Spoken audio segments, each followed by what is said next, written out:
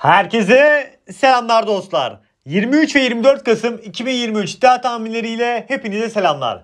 Perşembe ve Cuma'ya birleştim. Toplamda 8 adet mücadele anlatacağım. İdeal ve yüksek oranlardan bahsedeceğim. Ağırlıklı olarak Euroleague basketboldan ilerleyeceğimizi söyleyelim. Cuma günü tabii ki güzel futbol maçları var. Onları da değerlendirme altına aldım. Öncelikle bir adet skor yarışması yapalım. Skor yarışmasından önce sizlerden arkadaşlar beğeni bekliyorum aynı şekilde. 2 günlük bir video Perşembe ve Cuma'ya Euroleague de aynı şekilde almışım buraya. Sizlerden ricam artı 500 seviyesinde beğenileri eksik etmemenizdir. Ayrıca abone de olursanız çok sevinirim. O kadar izleyen var ama abone o seviyemizde biraz yukarı çıkarsa güzel olur. 2 adet skor yarışmamız var. Fenerbahçe Beko kaç sayı atar? Özellikle bunu sordum. Zor bir soru. Bilen 5 kişiyi alalım. Zaten e, Kasım ayının sonuna kadar. Paris Monaco mücadelesinde de bilen bir kişiyi alalım. Sizce maç skorları ne olur? Fenerbahçe Beko'nun kaç sayı attı? Paris maçında skoru yorumlara yazmanız yeterli olacaktır. Devam edelim. Her türlü soru görüş öneri de arkadaşlar iletişim Instagram üzerinden Kangal Bey olaraktan da bana mesaj atabilirsiniz. Gruplara gelmek isteyenler herhangi bir sorusu olanlar eleştiri öneri her şey için de Instagram adresimizden benimle iletişime geçebilirsiniz. Dün yüksek misli verdim. Bir adet ondan bahsedeyim. Slovenya'nın mücadelesi vardı. 600 TL önerdim. Dediğim gibi milli maçlarda ben 1000 lira, 1500, 2000 lira kendim o kadar milli maçlar oynamıyorum ki önereyim. 600 TL attık. Slovenya'nın kazanmasını bekliyordum. Beraberlik geliyordu fakat kendi evinde kazanması taraftar önünde önemliydi bence. Slovenya mücadele 2-1 kazandı. 600 TL önermiştik bu yüksek misliye. içeri almasını birlik. Tebrikler dostlar diyerekten de burada geçeyim. Ve aynı şekilde gününden bir adet kuponu vardı.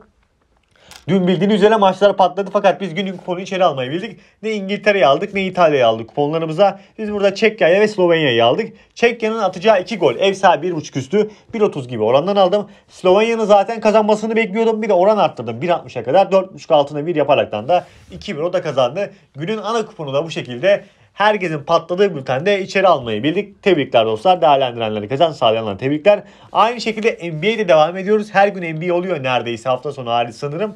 O şekilde biz NBA'de devam ediyoruz. NBA kuponlarımız, oyuncu bahislerimiz, teklilerimiz vesaire NBA'den de devam etmeye çalışıyoruz. Her zaman canlılarda da dediğim gibi zaten Gece NBA'si olsun, milli maçlar olsun. Zaten bülten de yavaştan başlıyor. Euroleague canlısıyla bu hafta biz zaten Perşembeden iyice start veririz. Cuma hızımızı alırız. Hafta sonunda yardırır gideriz. O şekilde canlılarımıza devam ediyor diyerekten de sizlere söyleyelim. Herkes açık Telegram grubumuza açıklama ve yorumlar kısmında mevcut linki var. Oraya da tıklayaraktan da sizler de katılabilirsiniz. Buraya katılmak tamamen ücretsiz olduğunu da söyleyelim. Burayı da elimizden geldiğince canlı tutmaya, canlı tutmaya çalışıyoruz.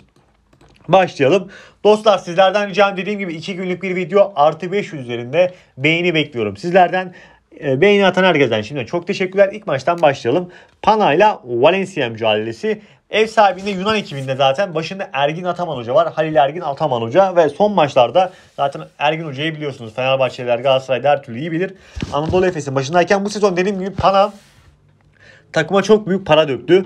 Bu paranın dökmesi karşılığını ilk başlarda hiç alamadı fakat son Euroleague maçlarında üst üste kazanaraktan da kendi ligini zaten namalup bir şekilde ilerliyor. Euroleague'de de son 5 maçın 4'ünü de kazanan bir pana var. Ev sahibinde özellikle Dinos Mitoğlu son maçlarında bahsedeceğim. 24 sayı, 19 sayı ve 24 sayı. Geriye dönük baktığımız zaman da son 3 galibiyetinde büyük bir rol oynadığını söyleyelim. Valencia'nın da son maçını izledim ki daha önceleri de izledik ki Valencia son maçlarda biraz etkisizdi. O yüzden ben burada ritim tutmuş ve formunu yakalamış bir ev sahibinden yanayım. Pana'nın burada maçı kazanmasını, ev sahibinin en az 4, 4 sayı fark atmasını bekliyorum. Pana mücadeleyi kazanır fakat en az 4 sayı fark atar. 1.41 gibi ideal bir oranı var. İdealden bunu değerlendirebiliriz. Avrupa için de şunu söyleyeyim dostlar. Avrupa'dan oynayanlar veya Avrupa'da yaşayanlar oyuncu bahisleri var bu Euroleague'de özellikle. Mitoğlu'na 12.5-13.5 üst tarzında sayı üstü alabilirsiniz. Zaten dediğim gibi son e, 3 maçın ortalaması adamın 20 küsur. Öyle söyleyeyim. Bologna ile Fenerbahçe Beko. Burada da sizlere yaptığımız skor yarışması Fenerbahçe Beko kaç sayı atar? Zor bir kişi. Zor bir şey. 5 kişi bilir mi sanmıyorum. Ama bilenler 5 kişi olursa 5 kişiyi de gruplarımıza eklemek isteriz. Yorumlara yazabilirsiniz. Bologna ile oynayacaklar. Bologna'da son dönemde ritim bulan bir Bologna takımı var. Son mücadelesini deplasmanda olmasına rağmen kayb deplasmanda kaybetti. Deplasman olmasına rağmen yanlış olur. Deplasmanda kaybetti. Panaya kaybetti. 76 sayı 76 sayıyla bitirdi. Fenerbahçe'de Beko'da bazı eksikler var. Kalates, Guduric gibi eksikler. Bunlar dönse bile neredeyse 2-3 haftadır zaten takımda yok. O yüzden ne kadar etkili olabilir o da tartışılır. Wilbeck'in Dorsey'i bunlar iyi işler çıkartmaya çalışıyor. Özellikle Wilbeck'in son mücadelelerde. Fakat burada Bologna kendi evinde taraftar önünde Fenerbahçe Beko'ya 79 sayı atmasını bekliyorum. Ev sahibi 79.5 üstü buradan değerlendireceğiz. Onun da oranı 1.47 gibi oranı var. Bologna burada kendi evinde en az 80 sayı atar diyoruz. Değerlendireceklere bol şanslar. Diğer mücadelem Real Madrid'de Alba Berlin karşılaşması. Bu maçta ya şu yönden Real Madrid'in kazanacağı bir kesin gibi bir şey açıkçası. Fakat şunu söyleyeyim. Yani sayı baremleri çok yüksek açılmış. Biz burada ne yapabiliriz diye baktığım zaman da en alttan şöyle alalım. İlk yarıda genellikle Real Madrid ilk yarıda fişi çekecektir diye düşünüyorum. İlk yarıda Fenerbahçe e, Fenerbahçe diyorum. Real Madrid burada ev sahibi 45.5 üst. Yani Real Madrid ilk iki periyodun sayında 46 sayı atar mı? 1.47 gibi oranı var. Başka türlü buradan oran çıkartamadım. En mantıklı olan Real Madrid zaten ilk devreyi hızlı oynuyor. Sayılar da orada gelirse ilk yarının sonunda Real Madrid burada Alba Berlin potasına en az 46 sayı gönderirse biz burada oran alacağımız oran 1.47 gibi bir oran var. Değerlendirecekler bol şanslar. Ayın 24 24'üyle devam edelim. Köln'le Bayern Münih mücadelesi. Yani Köln takımı Bayern Münih'e her zaman bir zorluk çıkarmıştır. Özellikle kendi evinde Bayern Münih'e geçiş oyunuyla birlikte çoğu takım gol atabiliyor açıkçası. Buradan neye gidilebilir diye baktığım zaman da ya Cuma günü acaba üstler falan patlar mı? O yüzden Cuma gününe geçtik bu arada. Aynı şekilde beğenileri bekliyoruz. Cuma günü genelde patlak skorlarla çıkabiliyor maçlar bildiğiniz üzere. Köln'le oynayacaklar. Ben diyorum ki yine burada düz gidelim. Gollerden patlarsa patlasın. İlk yarıdan bir Bayern Münih galibiyeti gelebilir. Bir 42 gibi oranı var. Bu şekilde idealden alabiliriz. Onun dışında eğer ki diyorsanız ki yani ben ilk yarı oynamak istemiyorum. Gollere yönelmek istiyorum. 2.5 üst ve var şeklinde yaparsanız şuradan 1.48 gibi orana kadar hem var hem de üstü çıkartmış olursunuz. Ha şu ekranda 1.48 gibi oranı var aynen. Hem var hem de üst olma ihtimali bence var. PSG ile Monaco mücadelesi. Bu maçın da maç skoru sizlere sorduk ne olur diyerekten de Cuma günün güzel maçlarından bir tanesi. Ben burada Monaco'nun da e, Paris Kalesi'ne gol bulmasını bekliyorum. Fakat özellikle size şundan bahsetmek istiyorum. Paris'in oynamış olduğu maçlara baktığınız zaman da özellikle ilk yarıdan çok etkin bir performans sergiliyor.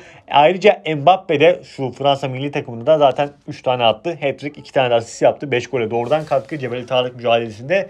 Takımda formda olduğu için burada Paris'in ben burada ilk yarıdan gol bulmasını bekleyeceğim. Ev sahibi ilk yarı 0.5 üst. Tek tercihimdir. Mücadelenin var olma ihtimali var ama 1.36 oranı var almayacağım. Tek tercih olarak ben burada Paris'in ilk yarıdan atacağı bir gol 1.30 gibi oranı var. Ha ilk yarı önde kapatır mı tartışılır. O riske girmeyeceğim ben. Sadece ilk yarıdan atacağı 45 dakikada atacağı Paris'in bir golünü bekleyeceğim. Geçtik tekrardan Eurolig'e. Anadolu Efes'te Partizan mücadelesi. Anadolu Efes'te önemli eksiklikler var. Neden bu kadar favori bilmiyorum ama Partizan'da da bazı eksiklikler var. Ama Efes'in eksikliği doğrudan etkiliyor. Shane Larkin bu mücadelede olmayacak arkadaşlar sakat olarak gözüküyor. Aynı şekilde Tibor Plyce da bu mücadelede olmayacak. Hem kısası hem de en iyi uzunu burada etkisiz. Zizic de gerçi çok iyi de e, et, et, e, olmayacağını söyleyelim. Ben burada Partizan tarafına gitmekte fayda var diye düşünüyorum. Özellikle iki tane tercih vermek istiyorum bu mücadele. Zaten benim iki tercihim de doğru orantılı. Bir tanesi Partizan'ın üst sayısı. Yani Partizan'ın deplasmanda 80 sayı atması. Çok kompakt oynayan bir takım. Deplasmanda burada 80 sayı atarına 1.43 gibi oran açmışlar zaten. Partizan'ın 80 sayısı gelebilir. Onun dışında şunu da söylemek istiyorum. Ev sahibi 87.5 alt. Onun da oranı 1.42. Ben burada Partizan'ın 80 sayı atmasını, Anadolu Efes'in de 88 sayı atmamasını yani ev sahibi 87.5 da sizlere önermek istiyorum. Hem Larkin'in olmayışı hem de Tibor Plyce'ın olmayışı doğrudan etkileyecektir diye düşünüyorum. Benim tercihlerim bu yönde. Baskonya ile Monaco mücadelesi özellikle yine aynı Avrupa'dan oynayanlar Avrupa'dan oynayanlar için söyleyeceğim veya Avrupa'da yaşayanlar için Marcus Howard isimli arkadaşımız burada Baskonya'da çok fazla üçlük deniyor ve başarılı bir yüzdesi de var. O yüzden bu kaç üçlük atar var ya bir buçuk veya iki buçuk açarlar Howard'a. Muhtemelen bir buçuk açarlar diye düşünüyorum. İki tane başarılı üçlük atabilir. Mücadele genelinde zaten ben tempolu oynayan iki, mücadele, iki takım var. İsabet yüzdesi de iyi seviyede olursa mücadelenin burada 163.5 üste gitmesini bekleyeceğim. Onun da oranı 1.47 gibi oranı var. Mücadele genelinde maç sonunda 164 sayı 164 sayıda çıkma ihtimali var. Bence güzel bir mücadele olmasını da beklediğimi söyleyeyim sizlere. Değerlendirecekler. Bol şanslar. Diğer mücadelem Kızıl Yıldız'la Milano mücadelesi. Ya yani iki tane kısır takımın karşılaşması diyebilirim ben burada. Ben burada alt olarak öncelik tercihim alt olacaktır. Onu söyleyeyim ben sizlere. Yine iki tercih ve birleştirip de yüksek orandan önereceğim sizlere. 161.5 üst altın oranı 1.48 arkadaşlar. Mücadeleyle ben 162 sayı gelmesini beklemiyorum. Kızılyıldız taraftarı önünde gerçekten çok başarılı bir ekip. Geçen deplasmanda da değerlendirdim. 73 sayısını aldım. 82 sayı attı. Tertemiz içeri de aldık. Fakat Milano ve Kızılyıldız iki eşleşmesinde ben üst oynamayı açıkçası pek sevmiyorum. Yani zorlu bir mücadele. O yüzden burada alt tercihi değerlendirebilir. 161.5 altı. Ayrıca maçı da Kızılyıldız kazanabilir bu arada. 1.45'te bunun oranı var. Ben dedim ya ikisini birleştireceğim diye. Yüksek orandan da maç sonu 1 ve 158.5 alt seçeneğini burada değerlendirebilirsek 2.67'de oranı var.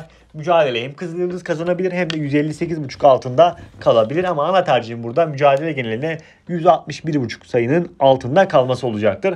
Cuma ve Perşembe ve Cuma'yı iki güne birleştirdim arkadaşlar. Perşembeden 3 maç Euroleague, Cuma'dan da 5 maç hem Euroleague hem de futbol olarak değerlendirdim. Değerlendirecek herkese bol şanslar. Videomuza like atıp kanala abone, abone değilseniz abone olmayı unutmayın. Gruplarımızda zaten kuponlarımızı oluşturacağız ve canlı olarak ilerleyeceğiz. Değerlendirecek herkese bol şanslar. Videomuza like atıp kanala abone, abone değilseniz abone olmayı unutmayın. Görüşmek üzere. Seviliyorsunuz. Bay bay.